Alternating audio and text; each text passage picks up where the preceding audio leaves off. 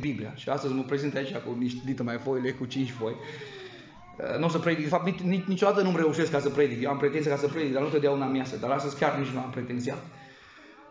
Vreau să citesc un reportaj care un frate pastor l-a făcut și l-a ținut la o școală, la un seminar în America. L-am ascultat și noi la cursul ăsta Kairos care l-am făcut și mi-a plăcut foarte mult pentru că este vorba de trezirea spirituală, pentru că este vorba de rugăciune.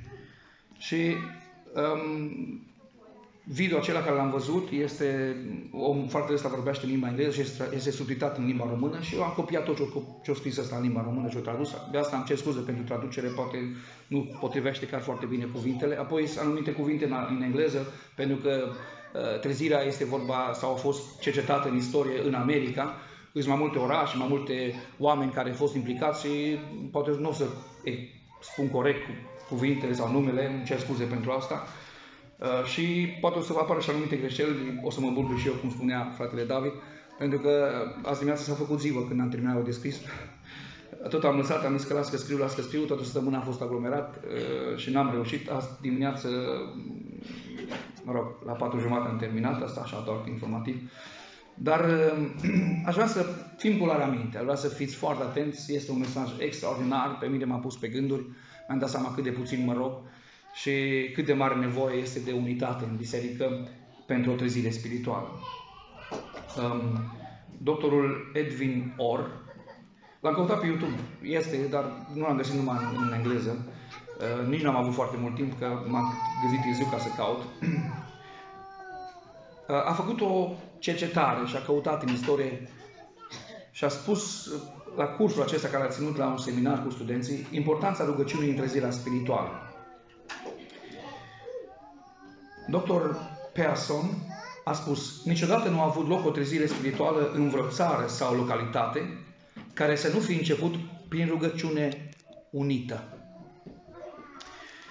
Acum, tot ce o să citesc e numele lui, da? El a fost, nu știu, la universitate, nu știu unde, să nu cum a fost să mă interpretați bățășeu ca la care l-a copiat pe Iosif Son și când a ajuns acolo, când a fost la uh, Oxford, nu știu ce, ăsta era de-a nostru, trei clase. Ce e Oxford? Da, el, ăsta, fratele ăsta, a studiat. Deci eu o să citesc, când termin de citit, vă spun, până aici a fost. Ca să nu mă interpretați altceva. Aș vrea să vă vorbesc, spune fratele Or, despre ce a făcut Dumnezeu prin, rugăciune unit, prin rugăciunea unită și de durată. Nu mulți oameni știu că după Revoluția Americană a existat un mare declin spiritual. Alcoolismul era epidemic din 5 milioane de oameni, 300 de mii erau alcoolici. 15.000 din aceștia erau mormântați în fiecare an. Vulgarita- vulgaritatea ajunsese la un nivel șocant. Pentru prima dată în istoria așezării americane, femeile nu ieșeau noaptea afară de frică să nu fie atacate. Jafurile de bănci erau evenimente zilnice. Iar bisericile Metodiștii erau cea mai mare dominație atunci și pierdeau mai mulți membri decât câștigau. A doua denominație, ca mărime, baptiștii, spuneau că au cel mai înghețat sezon. Prezbiterenii se adunau ca să deplângă lipsa de evlavie a națiunii. Congregaționiștii erau puternici în statul New England, dar iată cum era biserica tipică lor. Reverend Samuel Sheffert din Lennox, Massachusetts, spunea că timp de 16 ani niciun tânăr nu s-a alăturat bisericii. Luteran, luteranii ajunsese atât de rău încât discutau despre unire cu Biserica Episcopală, care avea și mai puțini membri. Episcopul protestant Samuel Provost din New York a rămas fără slujbă nu mai confirmase pe nimeni de atâta timp încât s-a declarat șomer și și-a găsit alt loc de muncă. Președintele Curții Supreme a Statelor Unite, John Marshall, i-a scris episcopului Madison din Virginia spunând Biserica a decăzut, biserica a decăzut prea mult ca să mai poată fi salvată. Voltaire spunea, creștinismul va fi uitat în 30 de ani, iar Tom Paine a predicat voios acest mesaj în toată America. Dacă credeți că era doar o isterie trecătoare, Kenneth Scott, marele istoric al bisericii, a spus Parcă creștinismul era gata să dispare complet din viețile oamenilor. Bisericile erau cu spatele la zid. Părea că erau aproape de moarte. Cum a schimbat Dumnezeu această situație? Prin puterea rugăciunii unite. Trebuie să merg puțin înapoi. Un, patos, un pastor presbiterian din Edinburgh, John Erskine, a spus, a compus un document cu titlul Implor oamenii din Scoția și din toată lumea să se unească în rugăciune pentru o trezire religioasă. A trimis o copie a acestui document lui Jonathan Edwards în New England. Marele teolog a fost așa de mișcat încât a scris un răspuns mai lung decât o scrisoare care a fost publicat mai târziu ca o carte. Dacă memoria mă ajută, titlul ei era cam așa.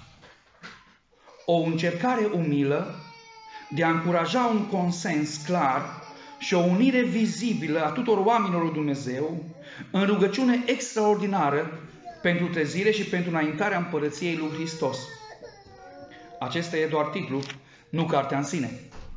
În zilele noastre adesea titlul nu reflectă conținutul unei cărți.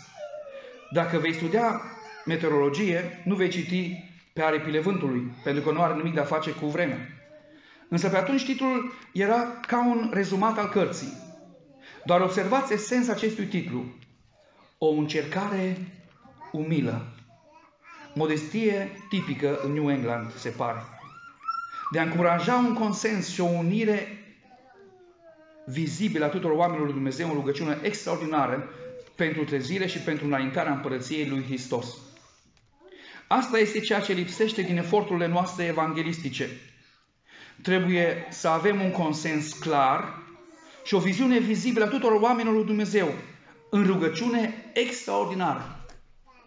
Această mișcare a început în Anglia prin William Scarry, Andrew Fuller, John Scutcliffe și alții. Ei au început ceea ce englezii au numit un sindicat al rugăciunii. Iar după moartea lui John Wesley a, fost, a început o a doua trezire care a cuprins întreaga Marea Britanie. Nu avem timp să intrăm prea mult în detalii, dar în New England trăia un om al rugăciunii, Isaac Bacchus, un pastor baptist. În 1774, când situația era mai gravă ca oricând, el a lansat o chemare la rugăciune. Să ne uităm la universitățile de atunci. Au făcut un sondaj și la Howard nu s-a găsit niciun creștin între studenți. Au făcut un sondaj în Princeton, o universitate mai evanghelică, au găsit doar doi studenți creștini și doar cinci care nu făceau parte din mișcarea limbajului vulgar acelei vremi. Acelei vremi. Studenții organizau revolte la colegiul Williams. La colegiul Williams au la cina Domnului în bajocură. La Dartmouth aveau piese de teatru anticreștine. La Princeton au dat focul clădirii istorice Nassau. L-au forțat pe președintele de la Howard să dimisioneze. Au luat o Biblie dintr-o biserică presbiteriană din New Jersey și au ars-o în public. Creștinii erau așa de puțini în campusuri încât se întâlneau în secret ca pe vremea comunismului și luau notințe în limbaj codificat ca să nu știe nimeni ce fac și să nu fie persecutați. Isaac Bacus a adresat chemarea la rugăciune pastorilor din toate denominațiunile din Statele Unite. Bisericile știau că nu au de ales, așa că toți prezbiterienii din New York, New Jersey și Pennsylvania au acceptat-o în bisericile lor. Episcopul Francis Asbury a acceptat-o pentru metodiști. Asociația Baptistă, Biserica Congregațională, Reformații, Moravenii, toți au făcut la fel până când America, la fel ca și Marea Britanie, a fost legată într-o rețea de întâlniri de rugăciune. A pus deoparte, a pus deoparte prima zi de luni a fiecare lună pentru rugăciune. Și nu a durat mult până a venit trezirea. A început în Connecticut, apoi s-a răspândit în Massachusetts, fără extravaganță sau publicitate. Fiecare raport menționează acest lucru. Dar au început să se vadă difer- diferențe. Când trezirea a ajuns în Kentucky, oamenii de acolo erau sălbatici și fără nicio religie.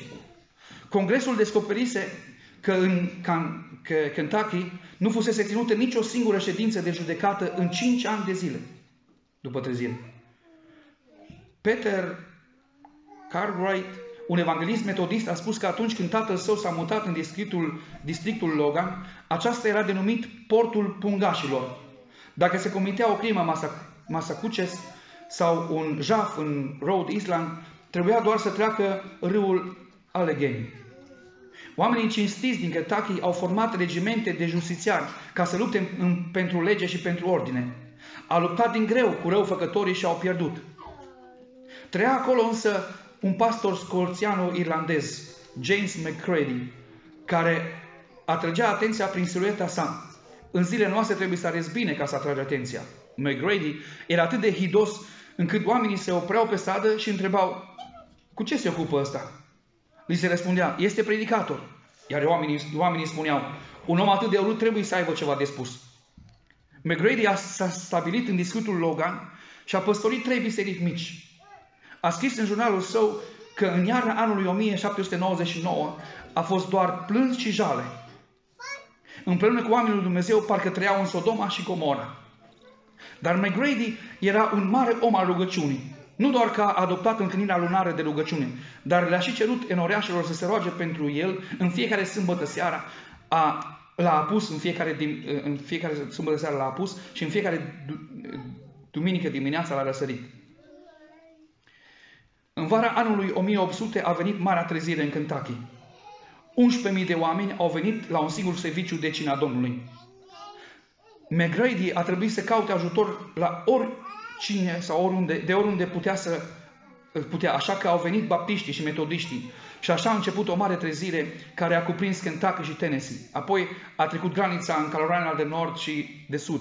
Și a cuprins marginea țării. Acela a fost punctul de cotitură.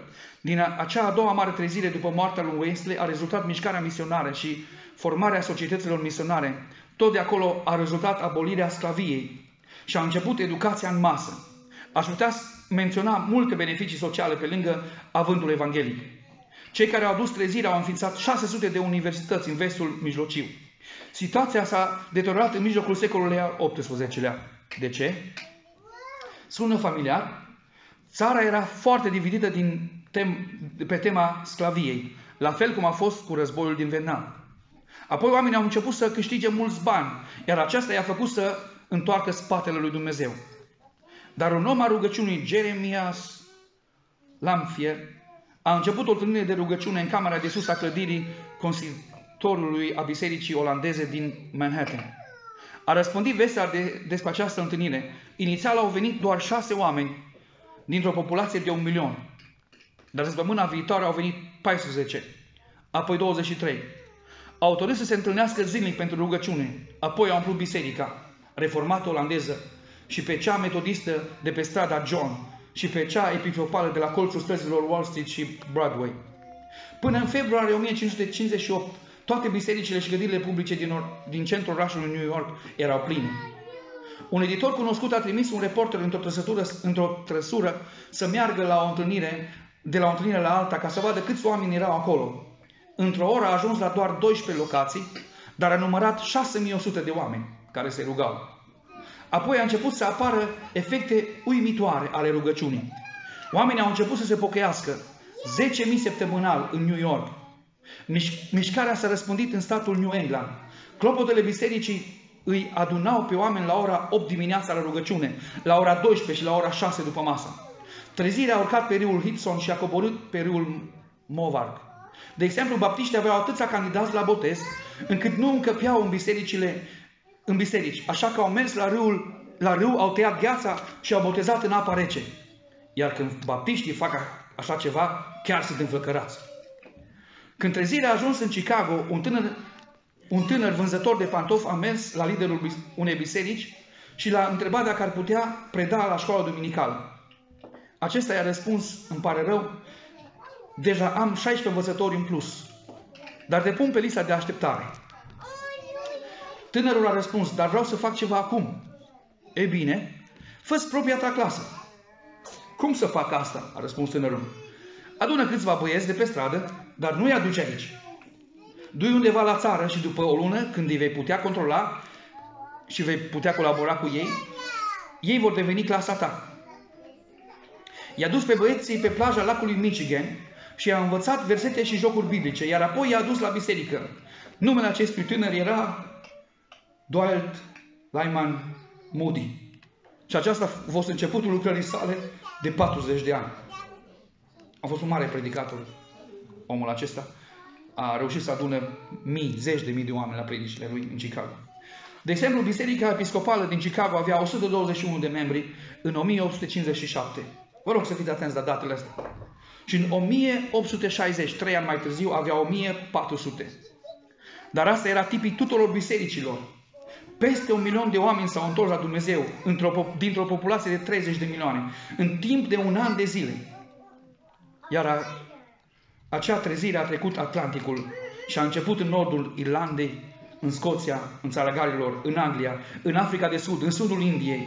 Oriunde erau evanghelici, a venit trezirea, iar efectele ei s-au simțit peste 40 de ani. A început ca o mișcare de rugăciune și a fost susținută prin rugăciune. Această mișcare a rezistat o generație, însă la trecerea din secolul 20 era din nou nevoie de trezire. S-au ținut în întâlniri de rugăciune la Institutul Biblic Moody, la Convenția Cowes din Anglia, în orașul Melbourne, în munții uh, Ningli din India, în orașul Vonsan din Corea. Peste tot în lume oamenii se rugau pentru o nouă trezire în secolul 20. Unii spun că suntem azi și azi în, în mijlocul unui mare trezire. Cu siguranță, cred că lucrurile se schimbă, cred că ne-am pus din nou în mișcare, dar cred că suntem departe de ceea ce a făcut Dumnezeu în trecut. Să vă dau două exemple. Mai întâi lumea studenților, unul din liderii trezirii din 1905 a fost un tânăr pe numele Latourette, care a devenit un cunoscut profesor.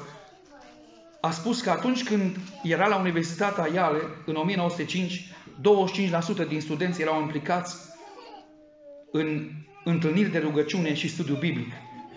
Unde locuiesc eu, 36.000 de studenți, eh, unde locuiesc eu sunt 36.000 de studenți. Nu cred că acolo 9.000 de studenți implicați sunt implicați în mișcarea precum Campus, Crusade sau în alte grupuri evanghelice. Nici în, to- nici în toate puse la un loc nu am ajunge la suma respectivă. Iar în privința bisericilor, pastor, uh, bisericilor pastorii din, din Atlantic City raportau că în 5, din 50.000 de oameni din oraș,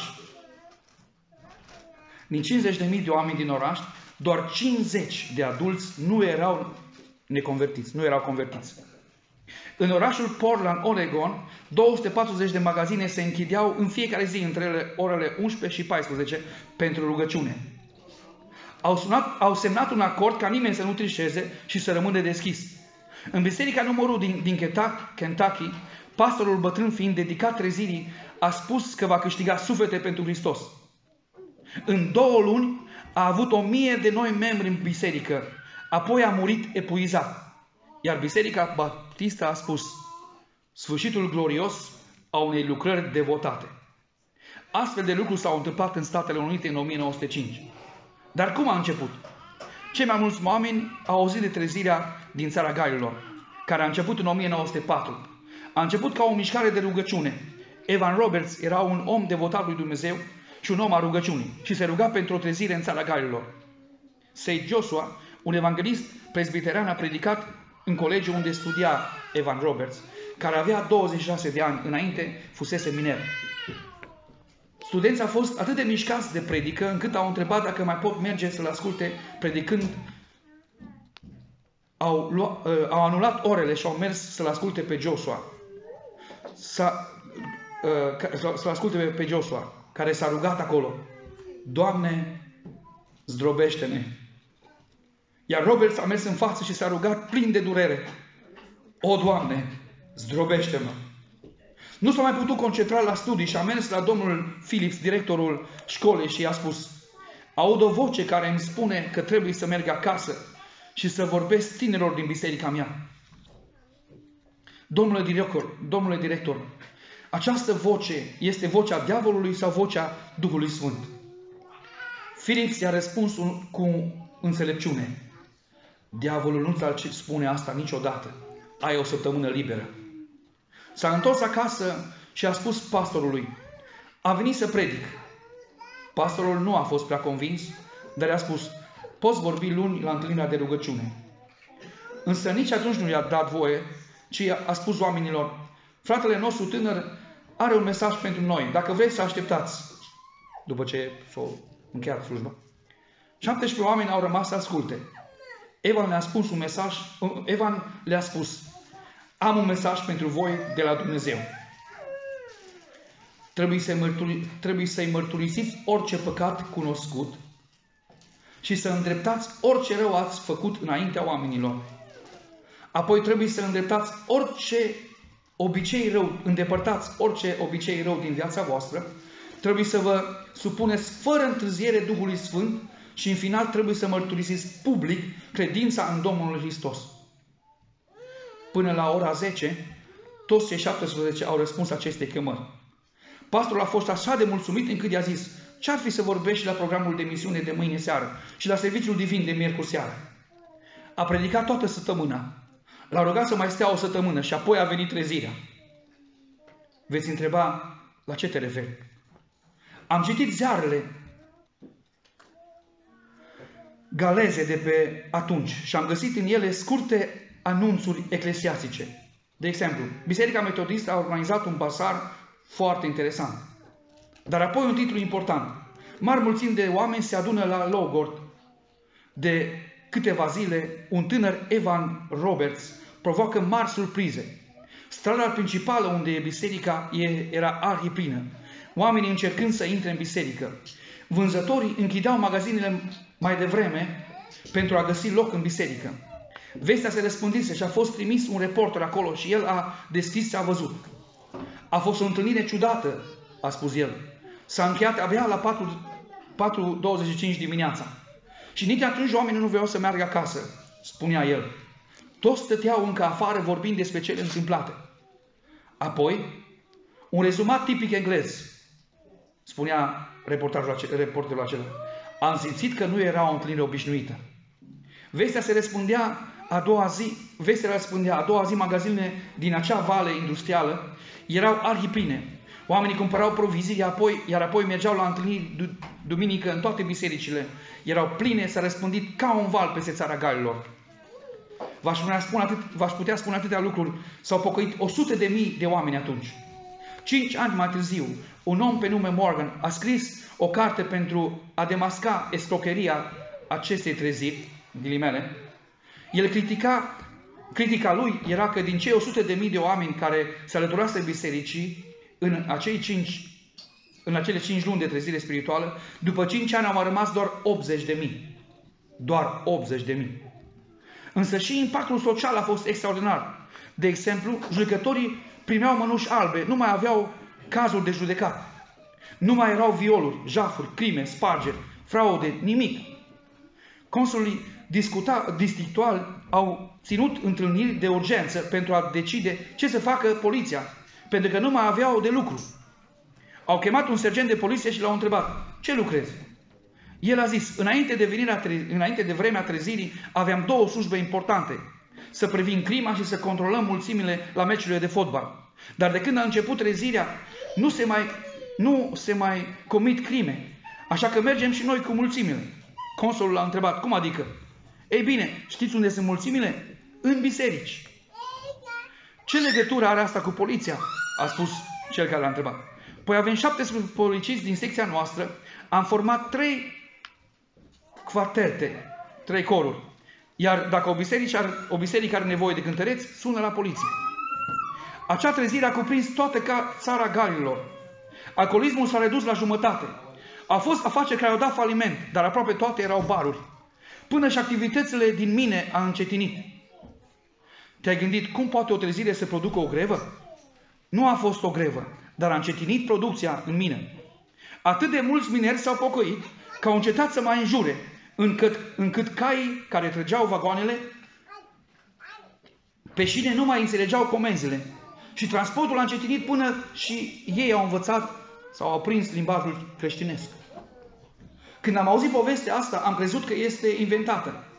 Dar se găsesc dovezi în biserica Vedmister din Abeni, care, uh, în Abeni. Acea trezire a afectat chiar și standardele morale. Am descoperit din date primite de la experții guvernului britanic că în ultimele, în unele districte, rata nașterilor ilegitime au scăzut cu 44% în primul an de la începutul trezirii. Atât de mare a fost impactul acestei mișcări. Acea trezire a cuprins Marea Britanie, apoi Norvegia. A fost atât de puternică acolo încât Parlamentul norvegian a dat legi speciale pentru ca să permite laicilor să oficieze cina Domnului, pentru că preoții nu mai făceau față numărul mare de oameni care voiau să se împărtășească. Trezirea a cuprins Suedia, Danemarca, Germania, Canada, de la o coastă la alta, Statele Unite, Australia, Noua Zeelandă, Africa de Sud, Africa de Est, Africa Centrală, Brazilia, Mexic, Chile. Aș putea vorbi de fapt, predau un curs despre asta. Iată un lucru interesant. Până în 1973 nimeni nu a știut de magnitudinea acestei treziri, până nu am publicat cartea Limba de foc. Și totul a început ca o mișcare de rugăciune. A început cu întâlniri de rugăciune peste tot în SUA. Și curând a venit vremea recolte. Ce lecție învățăm de aici? Este foarte simplă. Din versetul acesta familiar, dacă poporul meu, peste care este chemat numele meu, se va smeri, se va ruga, va căuta fața mea și se va abate de la, păcă, de la căile lui rele, îl voi asculta din ceruri, îi voi ierta păcatul și voi tămădui țara. 2, 2 Cronici 7 cu 14. Ce implică aceasta? Dumnezeu se așteaptă să ne rugăm, dar să nu uităm ce a spus Jonathan Edwards. O încercare umilă de a încuraja un consens clar și o unire, o unire vizibilă a tuturor oamenilor lui Dumnezeu în rugăciunea extraordinară pentru trezire și pentru înaintarea împărăției lui Hristos. Ce înseamnă rugăciunea extraordinară? Când găsești oameni care se trezesc la șase dimineața ca să se, să se roage sau care petrec o jumătate de oră noaptea în rugăciune, aceea e rugăciune extraordinară. Când renunță la pauza de prânz și merg la o întâlnire de rugăciune, aceea este o rugăciune extraordinară. Dar trebuie să fie unită, în comun. Nu înseamnă că un baptist devine mai puțin baptist. Sau dacă un episcopian nu respectă doctrina celor 90, 39 de articole, sau un presbiterian va renunța la mărturisirea de credință. Nici de cum. Dar toți, vor, toți se vor accepta ca frați și surori în Hristos. Și vor fi gata să se roage împreună în rugăciune unită. Pentru ca Domnul să audă și să răspundă. Încă nu am ajuns la acel punct, acea, acel punct. Această conferință de rugăciune este un semnal al direcției în care ne îndreptăm. Asta numesc eu rugăciune extraordinară. Dar voi că sunteți aici și mă ascultați, trebuie să duceți mesajul în bisericile voastre. Și când ele vor fi gata să pună un timp deoparte ca să se roage pentru o trezire spirituală, atunci Domnul va răspunde din ceruri. Unii spun, asta înseamnă că depinde de noi? O, nu. Nu putem spune asta. Matthew Henry a spus, când Dumnezeu vrea să reverse milă peste copiii săi, întâi îi provoacă la rugăciune. Dumnezeu este suveran în aceasta, dar noi trebuie să răspundem. El a decis să nu acționeze niciodată fără acordul nostru. Deci fie că interpretezi trezirea în mod calvinistic sau armenian, lucrurile sunt simple. Să te rogi și Dumnezeu va lucra. Domnul să ne ajute să ne rugăm. Amin.